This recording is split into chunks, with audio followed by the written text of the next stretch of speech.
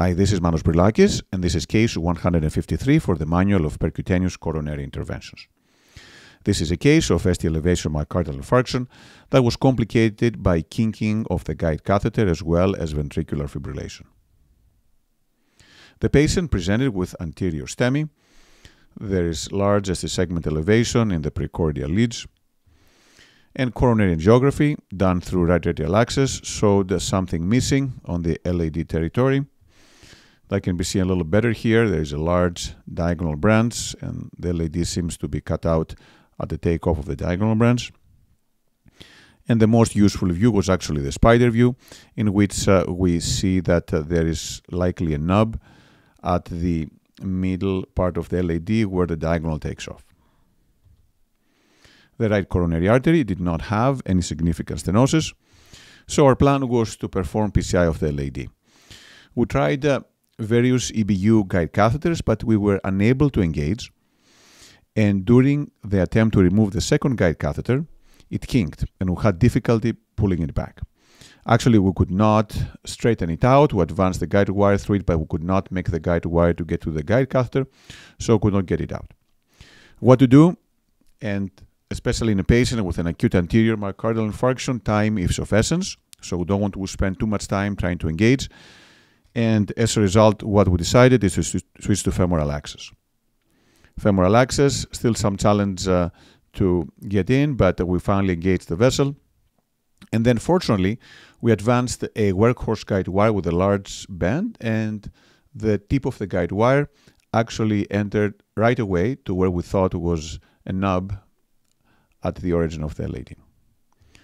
The problem was that we could not advance any further. Every time we try to advance and rotate the guide wire, what would happen is for the guide wire to actually prolapse into this large diagonal branch.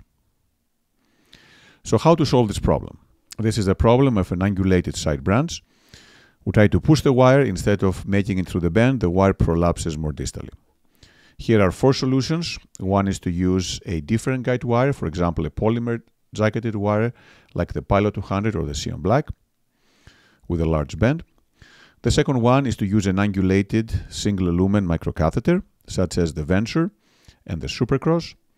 The third one is to use the reversed guide wire technique. And the fourth one is to use a balloon at the takeoff of this branch inflated so that the guide wire is deflected from this balloon and advanced into the side branch.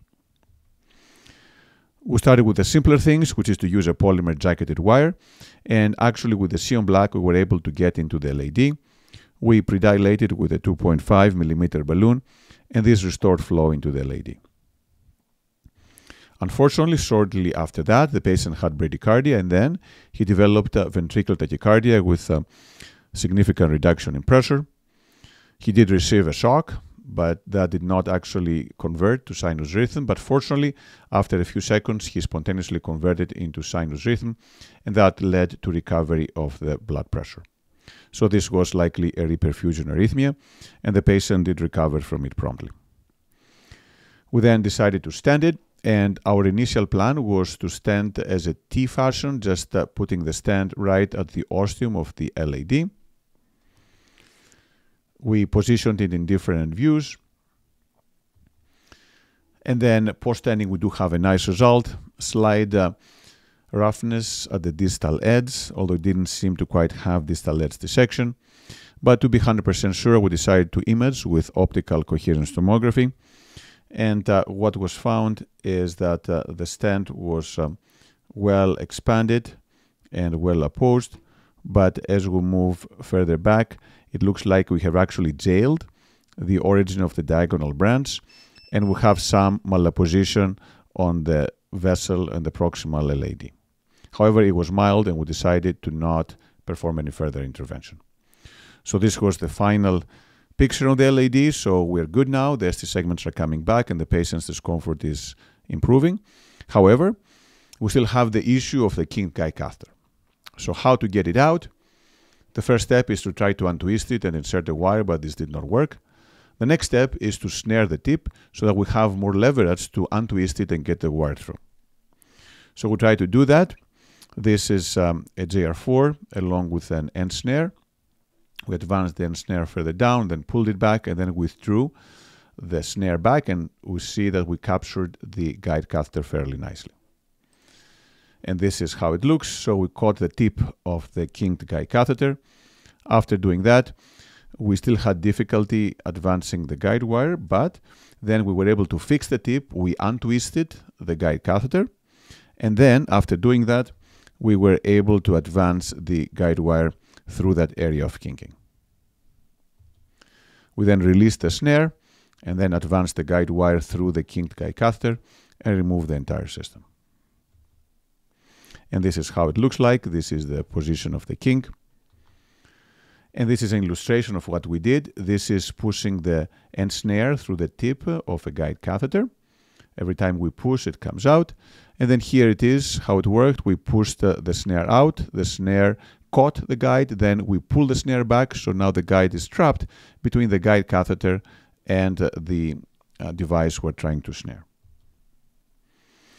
So several lessons from this case. The first one is that guide entrapment can happen if the guide can skin through radial access. If that happens in an emergent case like STEMI, we don't want to spend time, but instead we want to change the access as soon as possible to femoral and get the artery open, and then come back and deal with the kinked guide on a second time at the end of the procedure. The second lesson is that wiring triangulation can be hard. However, using a polymer jacketed wire can be very useful. Third one is that post-reperfusion arrhythmias can work. So one has to be ready to cardiovert or defibrillate as needed. OCT can help with optimizing the stent.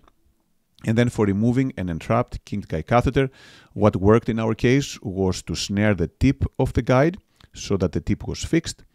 Then we were able to rotate it to untwist it and advance an O35 wire through it and remove it. Thank you.